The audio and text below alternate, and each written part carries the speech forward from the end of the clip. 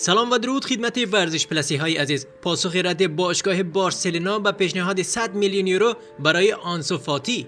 دو خبر عالی به بارسلونا از لیونل میسی و سوارز. در ادامه ورزش پلس باشید و برای تازه ترین اخبار ورزشی کافی است که کانال ما را subscribe کنید.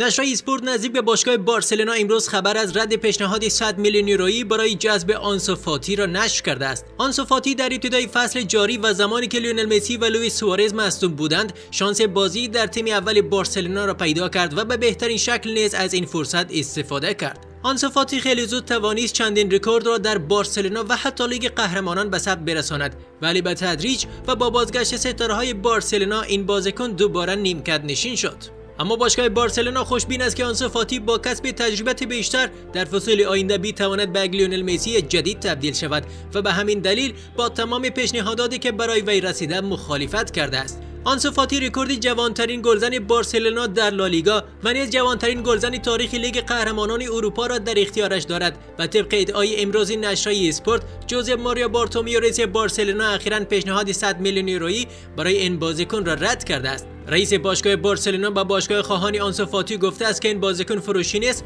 و روی این بازیکن برای آینده حساب ویژه باز کرده است. این در حالی است که بارسلونا پس از شیوع ویروس کرونا با مشکلات اقتصادی زیادی روبرو شده است و اخیرا شایعات مبنی بر کاهش مجددی دستمزد بازیکنان نیز شنیده می شود پیش از این و در دوران قرنطینه 70 درصد دستمزد بازیکنان کاهش پیدا کرده بود. در چنین شرایطی شاید فروش 100 میلیون یورویی آنسو فاتی می توانست بر بسیاری از مشکلات بارسلونا پایان دهد ولی بارتومیو قاطعانه این قضیه را رد کرده است.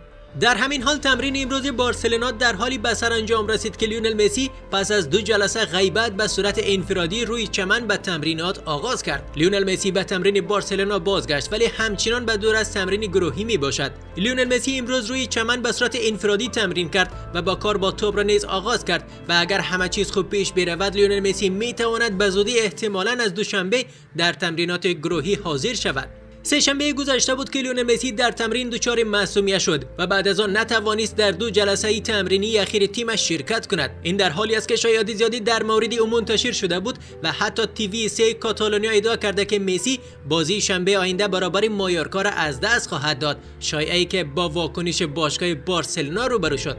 در این رابطه روز گذشته دیاریو اسپورت ادعا کرده که مسی هیچ مشکلی برای بازی با مایورکا نخواهد داشت. باید زود تمرین انفرادی امروز مسی خبر بسیار خوبی برای کادر فنی و هواداران بارسلونا محسوب می شود و نشان می دهد که احتمالاً به بازی با مایورکا خواهد رسید.